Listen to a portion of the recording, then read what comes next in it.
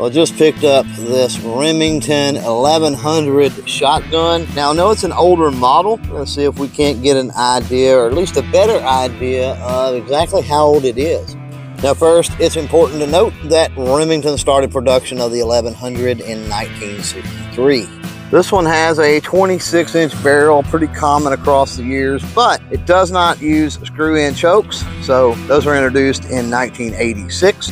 But if we take a closer look at the backside of the receiver here, we can see here that while there is a suffix of V denoting it's a 12 gauge, there is no uh, alpha character prefix, meaning this Remington Model 1100 is pre-1968.